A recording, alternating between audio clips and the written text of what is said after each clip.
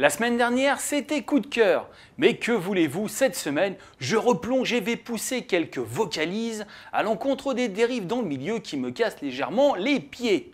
Au menu, mes copains les DLC qui ont à première vue décidé de pousser autour du jeu Tomb Raider comme les boutons sur le front d'un adolescent qui aurait loupé la case Biactol. Bon, cette semaine, j'ai failli encore faire un petit coup de cœur à propos d'un petit jeu indépendant, mais il va falloir que j'y joue un petit peu plus pour vous en parler ou pas. Je commencerai mon coup de gueule en vous parlant de l'excellent Tomb Raider. Encensé par tous, moi le premier, il semble bien qu'une pomme de la discorde ait été croquée par la belle Lara à propos de ses contenus supplémentaires.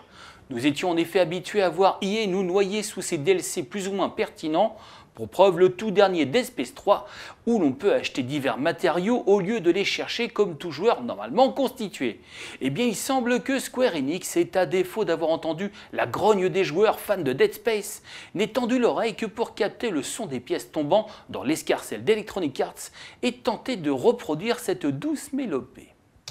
Il y a un truc que je me suis toujours demandé, c'est pourquoi les sociétés, euh, au lieu de se copier, au lieu de copier les meilleures choses qu'elles ont en elles, copient les choses les plus juteuses à court terme, mais catastrophiques en termes d'image à long terme? C'est une question qui reste ouverte. C'est en furetant sur Steam que j'ai découvert l'affaire en voyant pas moins de 19 DLC noyer la pauvre Lara.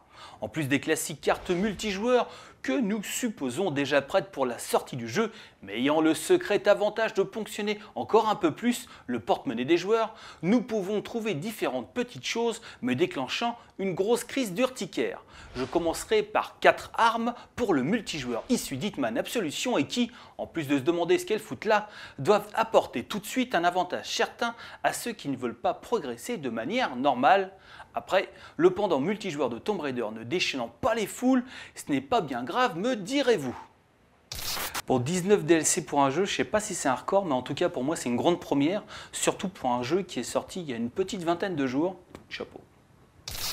On continue dans le classique avec les très dispensables costumes de Lara, la faisant plus ressembler à une jolie poupée qu'on habille qu'à une femelle totalement émancipée, en passant par les incroyables personnages multijoueurs, comme à titre d'exemple le redoutable pêcheur.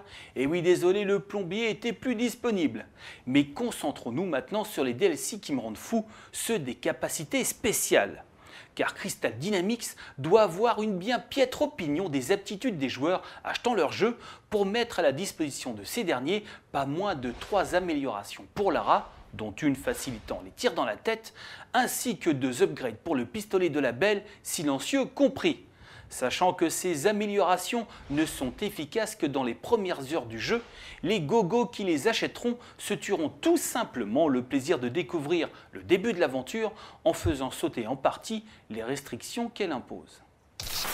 Bon, faut remarquer que toutes ces améliorations en partie sont vendues 79 centimes, pile poil le prix, je pense, psychologiquement acceptable qu'on peut voir euh, sur les applications de l'Apple Store ou du Play Store.